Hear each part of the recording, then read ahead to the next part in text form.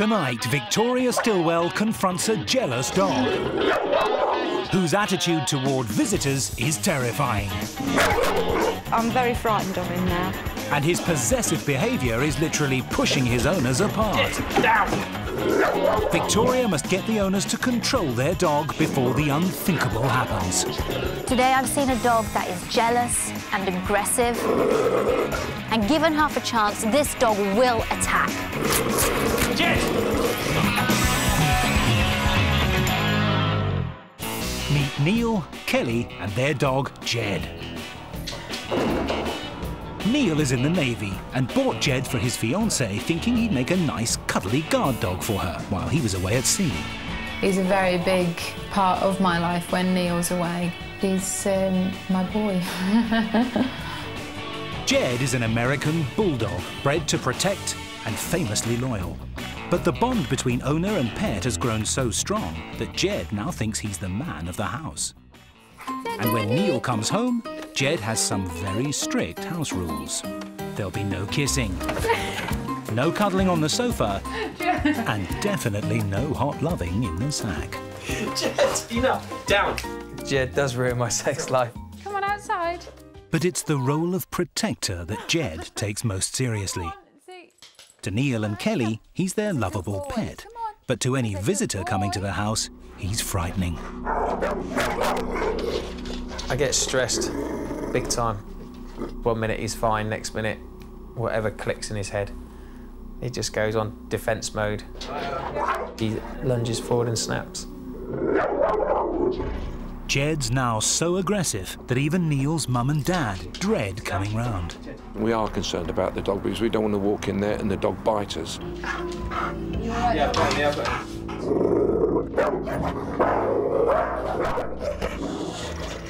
fine. Jed! Sit in the car for a little while. This aggressive outburst is the final straw for Neil's mum. I just feel as though the, the dog's ripping the family apart, and it makes me very sad. To test how serious Jed's aggression really is, in a controlled situation, two visitors put on protective bite suits and enter the house.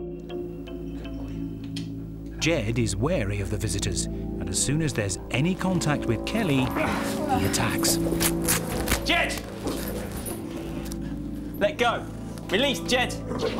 Jed! It's a rude awakening for Kelly and Neil. The protection is now starting to get to aggression. Someone's going to get hurt. I am afraid that Jed will really bite somebody because I know that if that happens, then he'll just be taken away from me. It would, it would destroy me, so... Neil and Kelly now realise they must do something before it's too late. To help this couple take control of their marauding mutt, dog expert Victoria Stilwell will certainly have her work cut out. Letting a dog get away with aggressive behaviour is inexcusable, and the longer you do nothing about it, the worse things will become. To assess the situation, Victoria will spend a day observing Jed's behaviour. Concerned by his recent outburst, Kelly and Neil decide a muzzle is in order. Hello. Hi. Hi, please Nice to meet you. Hello. Whoa. Okay. Does he always greet people like this? Yes, every time. Every people he doesn't know. Right. He's, he's like this every Right. time people come through the door. Yes, I can see he's quite tense. Okay. Well, somehow we're going to make our way into the sitting room. All right. So why don't you go ahead of me? The further Victoria goes into the house, the more angry Jed becomes.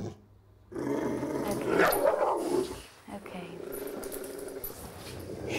Jed, Jed. Victoria's used to working with aggressive dogs and diffuses the situation with a special verbal technique. Thank you. Enough. Thank you. Oh, uh, don't look at me. Uh, I, uh, thank you. No, I know. Jed is obviously incredibly uncomfortable and very unhappy when strangers come into the room. And this is going to be a very, very tough nut to crack. Jed's aggression is one thing inside the house, But how bad is he in public? Being approached by a strange dog could often provoke even a mild-mannered mutt to attack. But surprisingly, Jed turns tail and scarpers. That's what he does with any kind of dog. It's amazing outside. Jed is even frightened by a small collie. That encounter with the other dog uh, was a very good sign because there was the other dog coming up to him going, rah, rah, rah, rah, rah. and instead of him going into that other dog and having a fight, he just backs away and runs away. Victoria's made a breakthrough in her observation. In open spaces where he can run away, he's absolutely fine. But when he's inside the house and there's nowhere to run, that's when he'll turn to aggressive display to protect himself. Victoria has seen enough. She believes that the responsibility for an aggressive dog like Jed lies with the owners. She sits Neil and Kelly down to give it to them straight. Bottom line is you do have an aggressive dog. And when an aggressive dog is aggressive, they're an aggressive dog for life. And one day, when he does bite, really bite severely, you know, it might be the fact that you have no choice about what happens to him. And the awful scenario of him being taken away and put down. Keep him away from children at all times. Um, if you have any kids coming around here, he's away. You have to realise that dogs that do have an aggressive response are under severe stress. So when you work with an aggressive dog, it's not make him face up to it. It's trying hard, very slowly, to minimize the stresses that your dog goes through. You never give that dog the chance to aggress again in any situation. And that means you have to take the lead. You have to be 100% consistent. The hardest thing um, to hear with Victoria talking about Jed's behaviour was her saying that he's aggressive and he'll always be aggressive. Realising they must take responsibility, Neil and Kelly are ready to begin training. We're going to start to hopefully rehabilitate him, and it will be a learning curve for me and, and Kelly and Jed mainly, and hopefully he'll, he'll take to it and, and stick to it. I think Kelly and Neil are finally beginning to understand how serious Jed's aggression is. And now that they do, we can start making headway. If your dog ever shows signs of aggression, Victoria believes you must get it checked out by a vet. Behaviour like Jed's could stem from a medical condition. We're bringing Jed to the vet because I think it's really important that he gets a full checkup, full medical checkup. But I also want him to have a, a thyroid test, just to check that everything's going okay. Hi. If aggression is caused by a medical condition, it's important that no training near members of the public is carried out before the test results come back. So while they wait, Victoria's going to begin with some jealousy training. Up until now, Jed's been getting in between his owners at every opportunity. Hey, Jed! If they can resolve his jealousy, it may reduce some of the aggression. The dynamic between the three of you is that Jed's very much in between you. And I think Jed demands a vast amount of attention, and you give it to him. You, especially, are Yeah, the yeah, culprit. yeah. It's true. It's true, You it's are true. so guilty of that. When we let him through, just let him through, and then sit together on the sofa, put your arms around Kelly. If he clambers up on you, all I want you to do is to stand up. It's time Jed learned who's boss. Okay, so if you're going to sit next to Kelly and put your arm around... Okay, now you stand up. That's it. Don't say anything to him. We don't need to turn our backs, no, just No, stand no, up. no, just stand up. That's it. By standing up and ignoring him, Jed will soon learn that his jealous behaviour will get no attention. Even looking is attention. Only when he backs off and allows Neil and Kelly to relax will he be praised. Good boy. That's it. Attention is on your terms. Affection is on your terms. The jealousy training went well. He sort of got the message. And uh, I think that's it's one thing if you're going to stick to it and say if you want your face licked by him. But um, no, it's it was really did good, well, didn't yeah. it? He did well. This training is really important because for the first time, Kelly and Neil are giving Jed attention on their own terms. And they can use this everywhere around the house, at the front door, on the sofa and in the bedroom. Concerned about the cause of his hostility, Victoria's had him checked out by a vet. The outcome of the blood tests is critical for Victoria to determine the best way of getting control.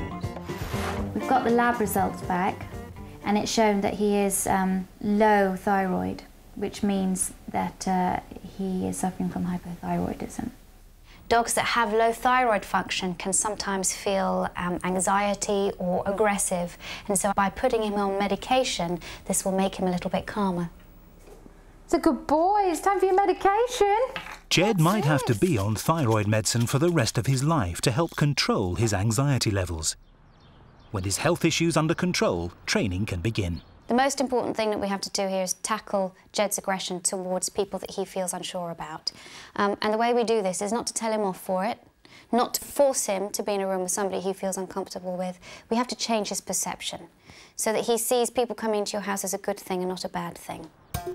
Jed is much more relaxed when he's out and about. Victoria believes that meeting visitors outside first will help him settle more quickly. Say hello. hello. And let's walk. Good. I want Jed to see people coming through the door as something really good rather than something that he should fear.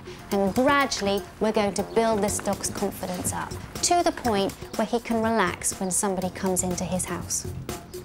Because of his aggression, Victoria insists Jed wears a muzzle in public. Once he's familiar with a stranger, they can risk coming inside. But the last visitors here were Neil's parents, and that ended in tears.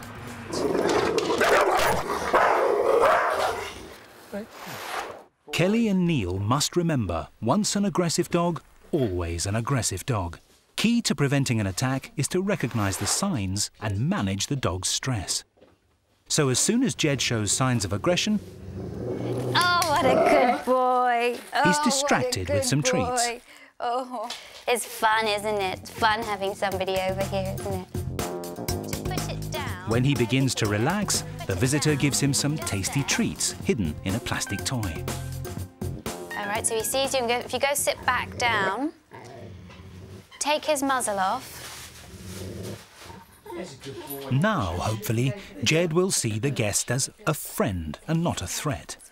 Because of Jed's temperament, he must be kept on a lead whenever visitors are around and continually distracted until he completely calms down. Get the toy and really just... Good, yeah. What's this? Oh, yeah. What's this toy? That's it. Good. Yes, it is. After 10 minutes, Jed's become so calm that he even plays happily next to his new best friend. If they're careful, Kelly and Neil can do this with every visitor. But if Jed doesn't calm down when distracted, he must be placed out of harm's way behind a baby gate where he can settle safely, still in the presence of his owners. I was quite a sceptic, to be honest. I didn't think it would work. But I've seen it for myself and it's, it has worked. Neil and Kelly have done really well with this training because it is, it's hard. But one thing they must not do is be complacent. You must never, never forget that you have an aggressive dog and that that dog could turn at any time if those stress levels are reached. So they have to have 100% management um, in order to ensure that the dog is safe, they're safe, and the people around them are safe. You never know when you're going to come into contact with an aggressive dog, so it's important you recognise the signs. Growling, a hunched back, baring of the teeth and rapid barking are all signs of a potential attack.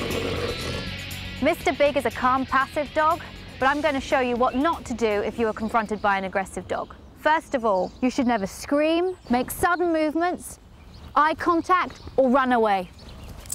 So what should you do? If you suspect a dog might be aggressive, turn sideways, fold your arms, look away, and be still. When the dog loses interest, walk away calmly. What if the worst should happen? If a dog does attack you, get onto the ground, roll up into a ball, with your arms protecting your head. Remember, stay alert around dogs at all times. Come on, Jed. In Portsmouth, training has been going well, and Neil and Kelly are seeing improvements with their aggressive dog, Jed.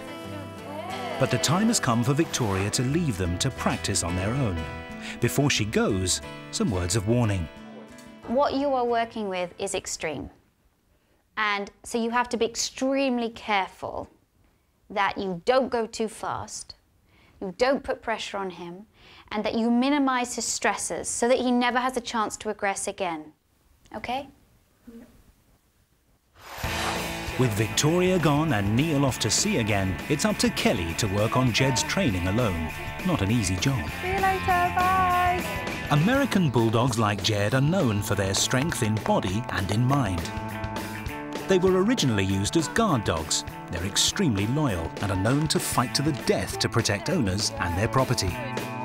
So Jed here is certainly living up to his breed's reputation. In Portsmouth, while Neil is away at sea, Kelly's getting stuck into training Jed alone.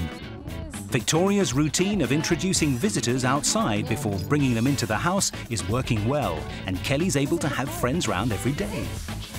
There's a good boy. And with every person who comes by, Jed becomes less aggressive and more confident.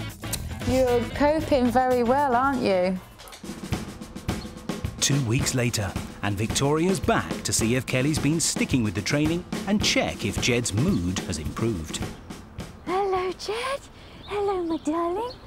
It's been going very well. I've noticed a big difference in his behaviour, certainly towards people coming into the house. As long as I go through the routine and stick to that 100%, then he's really, really good. Good. So it's very pleasing. Today, Neil is coming home from sea. He's used to being greeted by a possessive pooch who tries to push him and Kelly apart. So, can they now be reunited without Jed forcing his paws between them? Hello. Hiya. So far, so good. But Jed's aggressive behaviour has been tearing family life apart. The last time Neil's mum and dad came round to visit, it ended with mum in tears. Now, with Jed temporarily out of the way, they're back to see if relations can be restored. Tell me how you feel when you come into this house. quite frightened actually. Right. So uh, I'm a bit apprehensive about what's going to happen today. So we just say hello. We're going to go. Now for the moment of truth. Having first met Jed outside, can mum come into the house without fear of attack? Now what Kelly's doing is she's working him. With mum sitting comfortably, Jed is given a treat to show there's no threat. There you go. Down. Now Jed is relaxed, his muzzle can be removed. That's a good boy. That's a good boy. And he's boy. focusing more on that than he is on you. He knows you're here, yeah. but a dog that is not relaxed can't eat. So the fact that you're here and he's fine with your presence. He's concentrating on that as opposed to me. Exactly.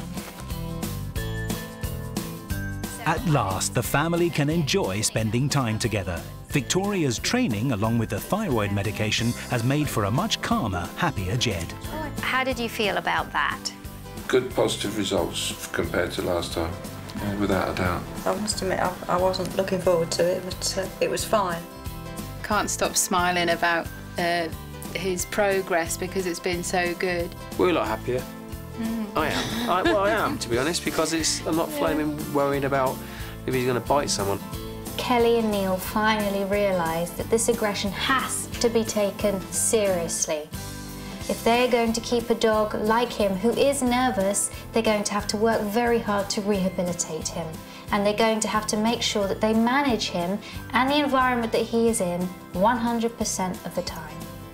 No ifs or ands or buts, that's what they have to do. But I think there's a good future ahead of them.